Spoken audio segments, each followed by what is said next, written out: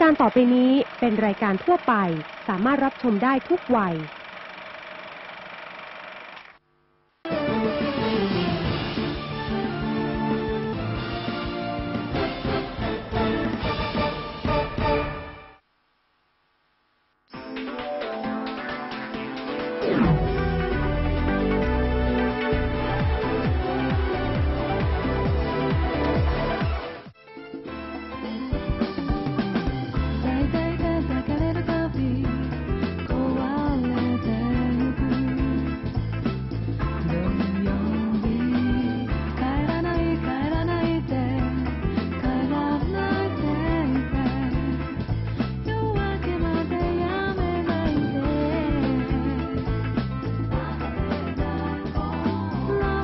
วัสดีครับ สวัสดีค่ะพบ สองคนอีกครั้งนะคะ ในวันหยุดนักขัตฤกษ์กับรายการ Happy Zone ในช่วง Happy Time ให้คุณมีเวลาดีๆ มีความสุขในวันหยุดแบบนี้ค่ะ ดิฉันสุกี้สุพิญญารูปคำดีค่ะ และผมเจษดาสาราทองนะครับ ตอนนี้นะครับเรามาอยู่กันที่จังหวัดจันทบุรีนะครับ แต่ว่าข้างหลังเรานี่คือที่ไหนครับ ที่นี่คือชุมชนอำเภอขลุงนั่นเองค่ะ ครับวันนี้นะครับเราจะไปติดตามร้อยอดีตนะครับ แล้วก็ดูวิถีชีวิตของคนอำเภอขลุงกันครับ ว่าที่นี่มีเสน่ห์อย่างไรที่ทำให้เราสองคนต้องมาเยือนนะคะ ไปกันเลยค่ะ ไปกันเลยครับ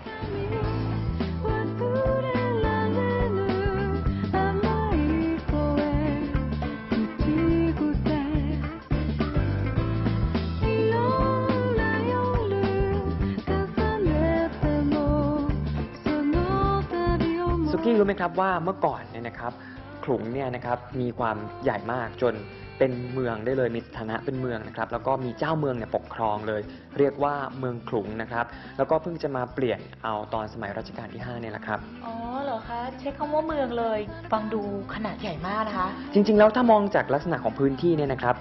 อาจจะไม่ได้ใหญ่มากนะครับ เพราะว่าจริงๆ แล้วปัจจุบันเนี่ยก็กลายเป็นแค่อำเภอเล็ก ๆอำเภอหนึ่งนะครับ แต่ที่แน่ๆ ก็คือว่าที่อำเภอขลุงเนี่ย เป็นเมืองที่ขึ้นชื่อเรื่องความสะอาดนะครับ เพราะว่ามีการจัดลำดับจากทททเนี่ยก็บอกว่าเมืองนี้เป็นเมืองที่สะอาดมาก ไม่เชื่อก็ลองดูรอบๆตัวสิครับ อืมมิน่าล่ะสุกี้ยังไม่เห็นขยะแม้แต่ชิ้นเดียว ตั้งแต่เราก้าวเข้ามาที่ชุมชนขลุงแห่งนี้นะคะ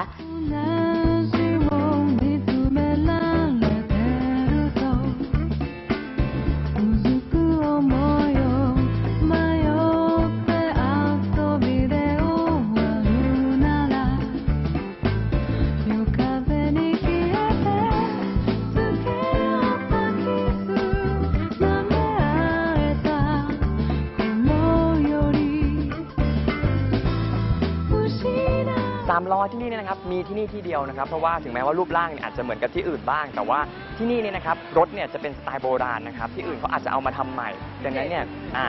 เรียกว่าคลาสสิกมากนะครับ เอาเป็นว่าเดี๋ยว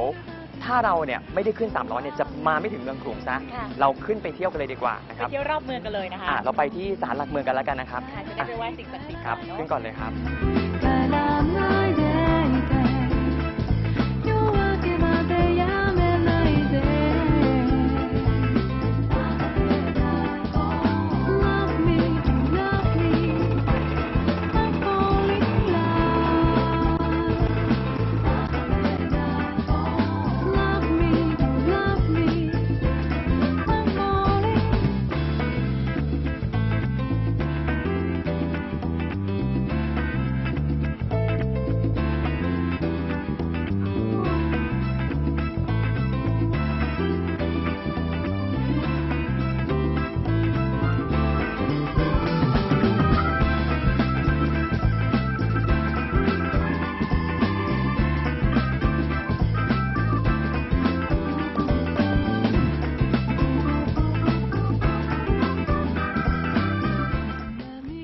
เดิมศาลเจ้าหลักเมืองขลุงเป็นศาลเจ้าเล็ก ๆ และสุดโทรมมาก จึงได้มีการรื้อถอนและมาสร้างใหม่ เป็นอาคารคอนกรีตหลังปัจจุบันที่มีสถาปัตยกรรมจริงอย่างที่เห็นนะครับ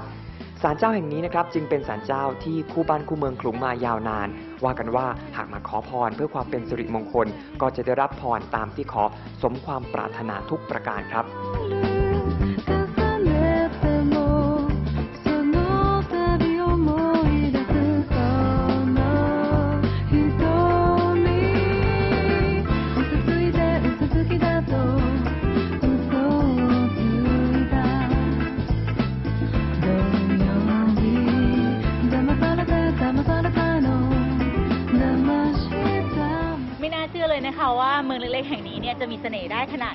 คงเป็นเพราะว่าวิถีชีวิตของคนที่นี่เนี่ยนะครับเขาไม่ได้ตามกระแสวัตถุนิยม หรือว่าไม่ได้ตามกระแสสังคมมากจนเกินไปนี่เองครับ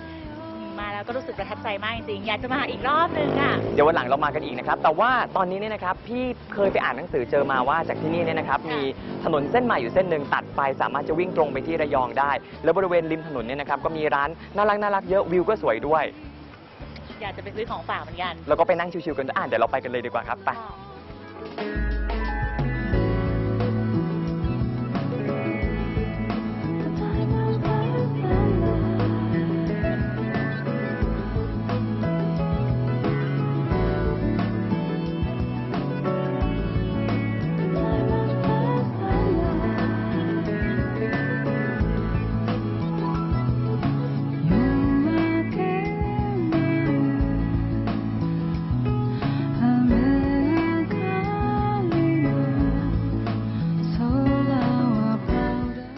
เฉลิมบูรพาชลทิศแห่งนี้เป็นถนนที่เชื่อมต่อ ระหว่างแหล่งท่องเที่ยวและจุดชมวิวต่างๆ ตามชายฝั่งทะเลของจังหวัดจันทบุรี ตั้งแต่ชายทะเลด้านเหนือสุด ไปยังชายทะเลด้านใต้สุดของจังหวัด เป็นเส้นทางท่องเที่ยวที่มีทัศนียภาพ และจุดชมวิวที่สวยงาม และมีเส้นทางรถจักรยานที่สร้างไว้อย่างดีเกือบตลอดเส้นทางครับ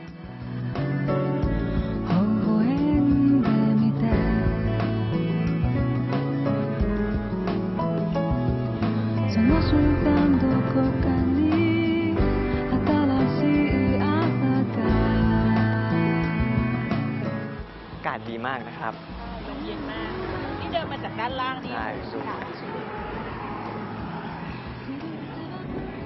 สุกี้ครับสะพานแห่งนี้นะครับชื่อว่าสะพานเฉลิมพระเกียรตินะครับก็อยู่ใกล้กับบริเวณจุดชมวิวนะครับปากน้ำแขมหนูนะครับเป็นไงบ้างครับอากาศ ก็ลมเย็นดีนะพี่เจแต่จริงๆแล้วอยากจะได้จักรยานปั่นไปแล้วก็สูดอากาศดีๆ เพราะว่าด้านหลังของเรานี่ก็จะเป็นภูเขาด้วย ใช่วิวดีมากแต่ว่าเสียดายครับวันนี้พี่ไม่ได้เตรียม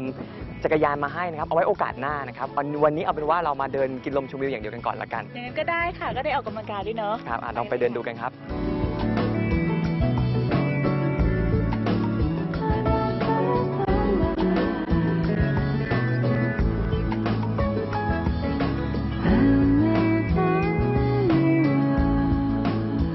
น้องสุกี้ครับวันนี้เที่ยวมาทั้งวันเป็นยังไงบ้างครับ สนุกมากนะคะ รู้สึกว่าออกมาจากกรุงเทพแล้วได้มาสัมผัสบรรยากาศที่เป็นธรรมชาติแบบนี้สดชื่นจริงๆค่ะ แต่พี่เชื่อว่าน้องสุกี้เนี่ยก็ต้องหิวมากด้วยเช่นกัน รู้ได้ยังไงอะ เพราะว่าพี่ก็หิวมากเหมือนกันครับ งั้นเราไปหาอะไรทานกันดีไหมอะ ครับไหนๆมาถึงจันทบุรีทั้งทีนะครับของอร่อยก็มีเยอะอะเดี๋ยวไปกันเลยครับ ไม่รู้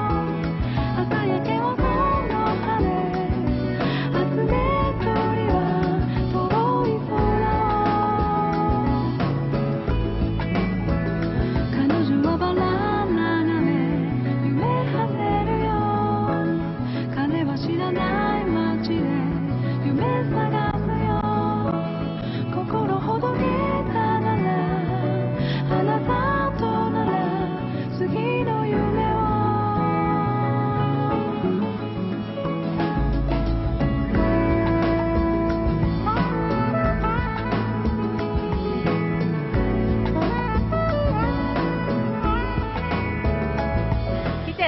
กี้กำลัง diet อยู่แต่อาหารเยอะขนาดนี้สุกี้จะอดใจไหวไหมคะเนี่ย ไม่เป็นไรครับ สักวันหนึ่งครับ เพราะว่าเขาอุตส่าห์เตรียมอาหารมาให้เราเยอะขนาดนี้เป็นพิเศษเลยนะครับเนี่ย ค่ะแหมเห็นแบบนี้แล้ว อาหารน่าทานขนาดนี้รวมไปถึงบรรยากาศให้ด้วยอดใจไม่ไหวจริงๆอะค่ะแต่ก่อนที่เราจะเริ่มลงมือทานกันเรามาลาคุณผู้ชมกันก่อนดีกว่านะครับ พร้อมกับพระอาทิตย์ที่กำลังจะตกดินนะครับโรแมนติกมากเลย ใช่ค่ะ วันนี้พี่เจและสุกี้ต้องลาคุณผู้ชมไปก่อนนะคะพบกันใหม่วันอังคารฤกษ์หน้าค่ะ ครับรับรองนะครับว่าช่วง Happy Time จะนำเอาเวลาดีๆ มาให้กับคุณและครอบครัวครับ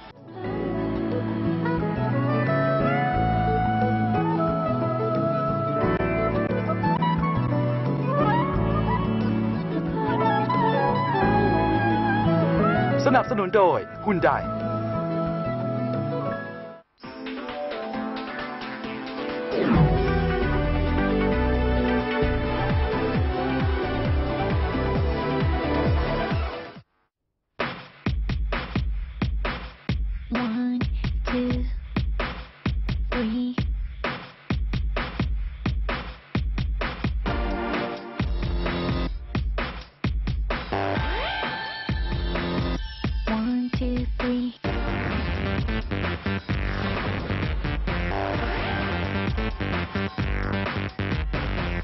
แรกของเอกลักษณ์นวัตกรรม จากฮุนไดเวลลอสเตอร์ Hyundai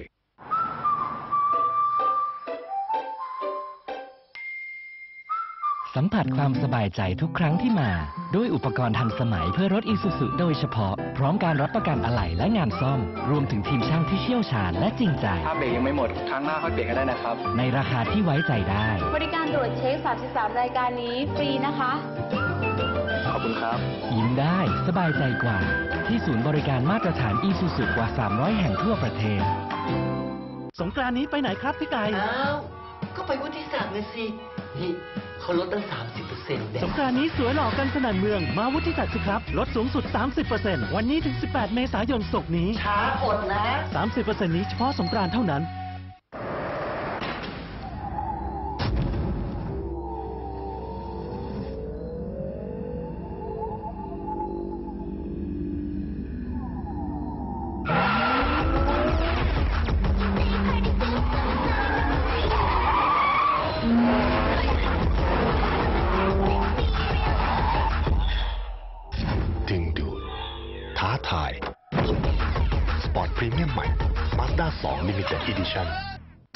ฟิล์มติดรถยนต์ต้องลามิน่า เอาจริงปะคะ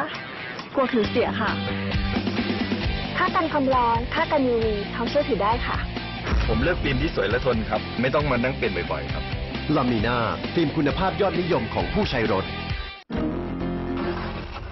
พลิกดีไซน์ทั้งภายนอกภายใน เพิ่มฟังก์ชันใหม่ ให้ชีวิตคุณง่ายขึ้นได้อีกนิสสันมาร์ชใหม่ที่โชว์รูมนิสสันทั่วประเทศ สงกรานต์นี้ไปไหนครับพี่ไก่ อ้าว ก็ไปวุฒิศักดิ์นะสิ นี่เขาลดตั้ง 30%แน่สงกรานต์นี้สวยหล่อกันสนั่นเมือง มาวุฒิศักดิ์สิครับ ลดสูงสุด 30%วันนี้ถึง 18 เมษายนศกนี้ ช้าอดนะ 30%นี้เฉพาะสงกรานต์เท่านั้น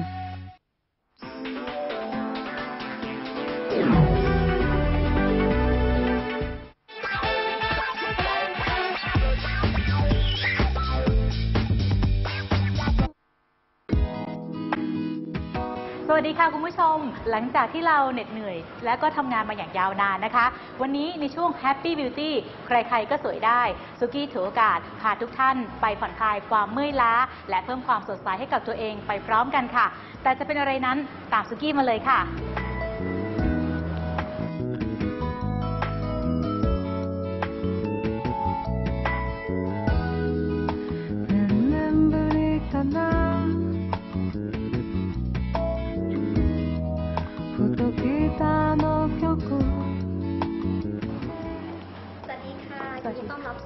เทนค่ะวันนี้อยากจะมาสปา มีตัวไหนแนะนำบ้างคะ ดิฉันขอแนะนำเป็นสปาเทน signature massage นะคะ ค่ะ ตัวนี้จะช่วยให้ดิฉัน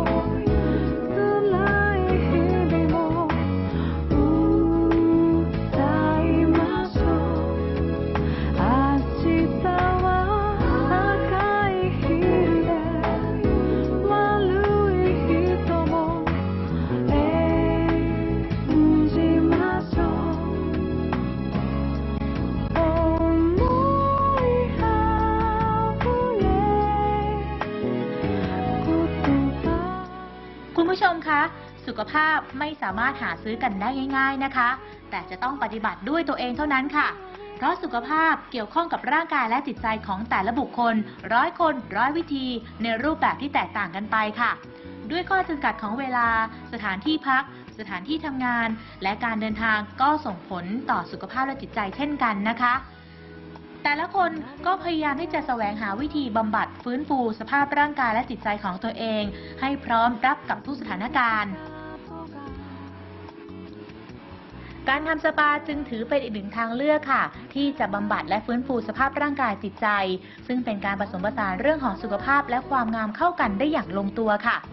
สปาเป็นการรวมการรับรู้ของประสาทสัมผัส ซึ่งมีทั้งรูป กลิ่น เสียงและสัมผัส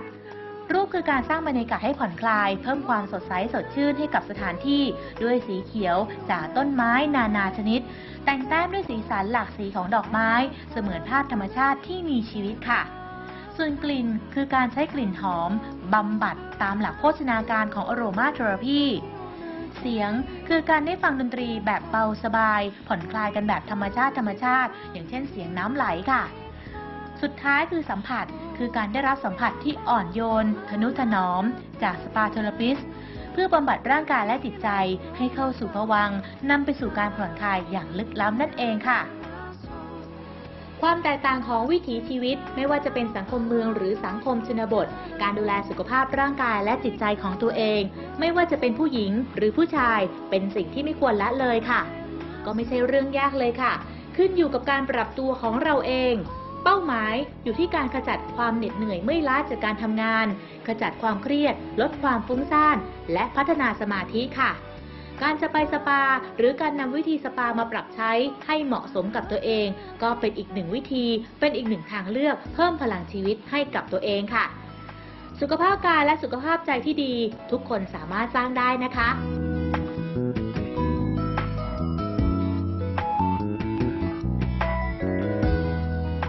คุณผู้ชมคะสดชื่นแล้วก็ผ่อนคลายมากจริง ๆ ค่ะ เราสวยจากภายนอกเบา ๆ กันแล้วนะคะ ช่วงหน้าจัดเต็มสวยจากภายในกันค่ะ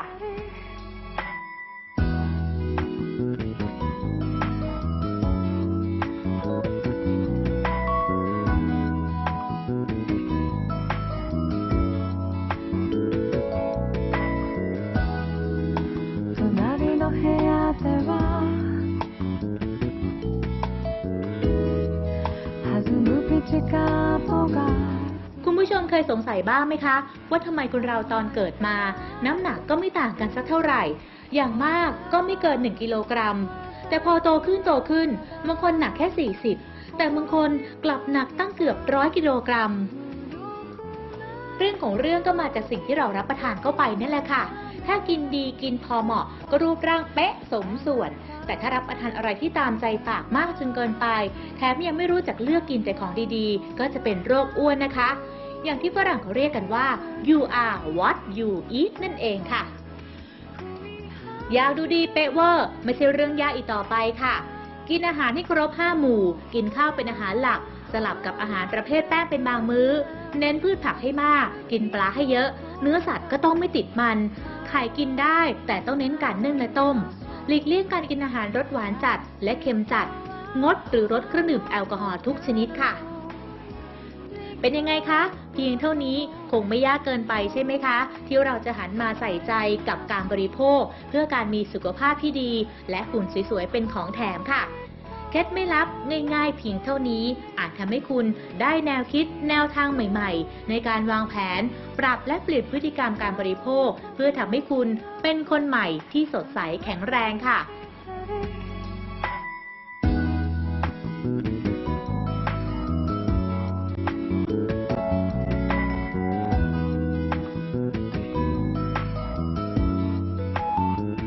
ต้องบอกคุณผู้ชมเลยค่ะว่า เป็นวันหยุดที่มีความสุขแล้วก็คุ้มค่ามากจริง ๆ ค่ะทำให้สุกี้มั่นใจนะคะว่า ในวันพรุ่งนี้หรือว่าวันไหนๆก็พร้อมลุยงานได้อย่างเต็มที่ค่ะกลับมาติดตามกับสุกี้ได้ใหม่นะคะ ในช่วง Happy Beauty ใครๆก็สวยได้ในวันหยุดนักขัตฤกษ์หน้าค่ะ ส่วนช่วงหน้าไปพบกับพี่เจดในช่วง Happy t 10ค่ะ สนับสนุนโดย วุฒิศักดิ์คลินิก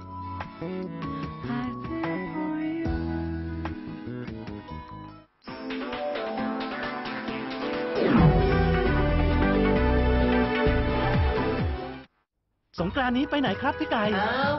ก็ไปวุฒิศักดิ์นะสิ นี่เขาลดตั้ง 30%เนี่ยสงกรานต์นี้สวยหล่อกันสนั่นเมือง มาวุฒิศักดิ์สิครับ ลดสูงสุด 30%วันนี้ถึง 18 เมษายนศกร์นี้ ช้าอดนะ 30%นี้เฉพาะสงกรานต์เท่านั้น รถยนต์ฮุนไดครับ ต้องการเป็นส่วนหนึ่งในการทำเรื่องดีๆให้กับสังคมครับ ให้ผู้ดื่ม ได้รับผิดชอบกับสังคมบ้าง ที่สร้างจิตสำนึกช่วยลดอุบัติเหตุบนท้องถนนได้ เพราะว่าไม่อยากเห็นเหยื่อที่เกิดจากคนเมาแล้วขับค่ะ เราก็เคยเป็นผู้ที่เมาแล้วขับ ถ้าถ้าคนเมาไม่เมาแล้วขับครับ เพื่อสังคมและคนรอบข้างมันอยากถามคำอาชีพคุณคุณไม่ห่วง มาช่วยกันเถอะครับ เมาอย่าขับเถอะครับ คุณไม่รักชีวิตตัวเองเลยนะครับ เมาไม่ขับคุณทำได้ Hyundai ทะยานไปอีกขั้นกับครั้งแรกของระบบหัวฉีดคู่ Dual Injector System เทคโนโลยีเฉพาะในนิสสันเครื่องยนต์1.6ลิตรประหยัดน้ำมันเป็นเยี่ยม ใหม่นิสสันพัลซาร์กล้าที่จะเติมสไตล์ให้ชีวิตทำไมฟิล์มติดรถยนต์ต้องลามิน่า ผมเลือกฟิล์มที่ผมมั่นใจจริง ๆ ครับ ว่าเป็นฟิล์มที่ผลิตจากอเมริกา The sun in Thailand is so hot. I use Lamina films to cool me down. ลามิน่าฟิล์มคุณภาพยอดนิยมของผู้ใช้รถ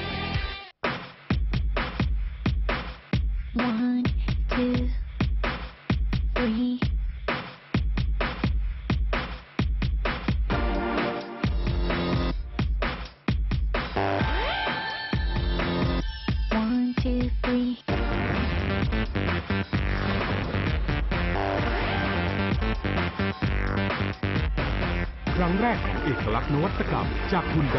Veloster Hyundai สงกรานต์นี้ไปไหนครับพี่ไก่อ้าว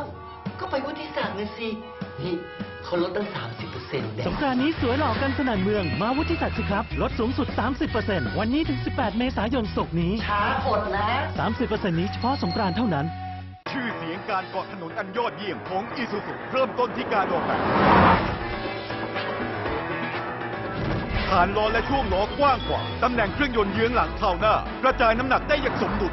แชสซีแกร่งมั่นคงสุดขนาดขับขี่แนบหลังยาว นุ่มนวลทั้งขนาดรถเปล่าหรือบรรทุกหนักพร้อมระบบเพื่อความปลอดภัยครบครัน ช่วงล่างไอกริปทรงตัวกริปใน All New Isuzu D-Max เท่านั้น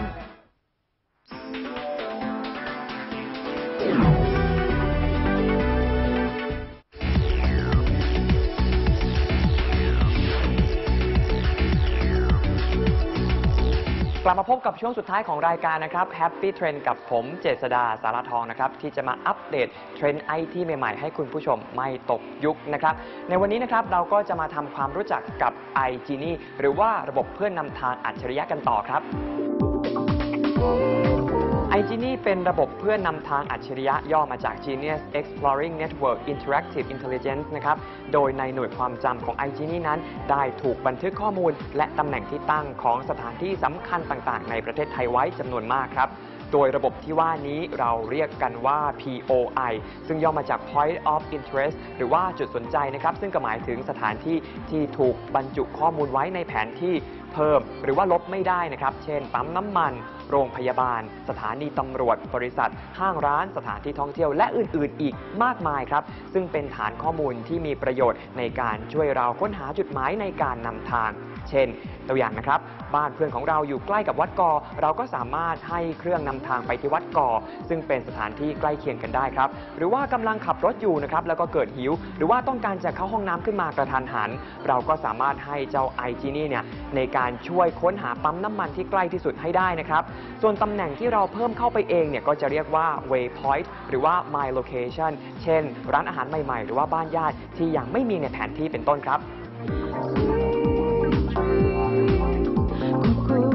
ส่วนการใช้งานก็ไม่ยากนะครับ เพียงคุณผู้ชมเนี่ยพิมพ์จุดหมายปลายทางที่ต้องการไปที่หน้านี้นะครับ จากนั้นก็กด enter เท่านั้น ระบบนำทางอัจฉริยะไอจีนี่ก็จะนำทางคุณผู้ชมไปยังจุดหมายปลายทางแล้วละครับ